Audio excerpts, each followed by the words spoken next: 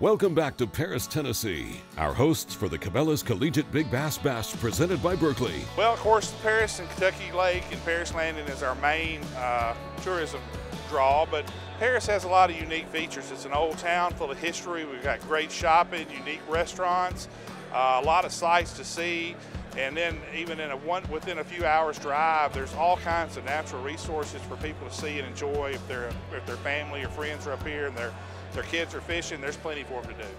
For visitors information, check out fishkentuckylake.com. Getting back to tournament coverage, we'll catch up with Logan Brewster and Clay Walters fishing for the University of Tennessee at Knoxville. Yeah, so you probably saw all the snow. Miserable, wet morning. In fact, we pulled the boat out of the water and trailered it and uh, put back in and then it cleared up and got relatively nice. The wind calmed, calmed down so we could fish some of our main lake spots. The team from UT Knoxville has had some success today, dominating session five with two fish going seven pounds or better.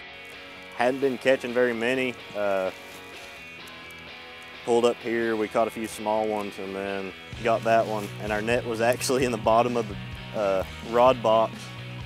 Wasn't able to get it out, so he ended up reaching about elbow deep in the water and lift it for me. But it uh, ended up weighing, I think, 732. Put us in second in the weigh-in, right behind our teammate Scott. But he had a 759.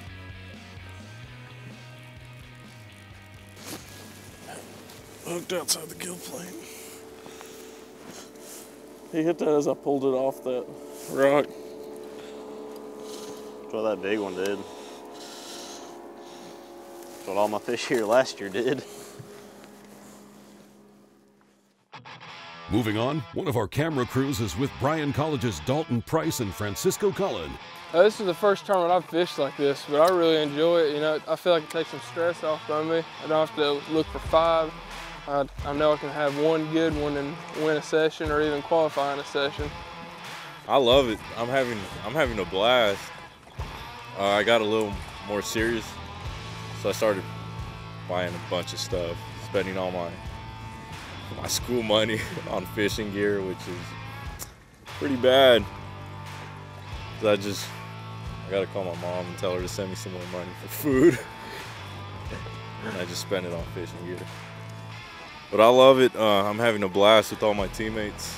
Uh, pretty social, and I'm glad they, they welcomed me in with open arms. You know, we got a great program. We all work together, and uh, it's a really a team, and uh, just great communication among everyone.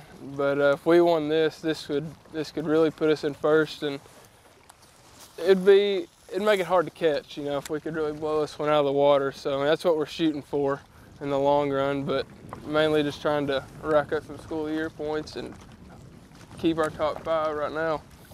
The School of the Year standings are on everybody's mind as we head into session number seven presented by Cabela's. Presented by Cabela's. This is Mississippi State's Hunter Hatcher. We caught up with him early this morning just after putting this big girl into his live well. What's your guesstimation on this fish? I'm going to say at least seven. He's hoping she nets him the $1,000 Cabela's gift card up for grabs in this session. 741, 741. It's the uh, just start of the seventh session. Um, about the third fish to weigh in. Ended up being a 741.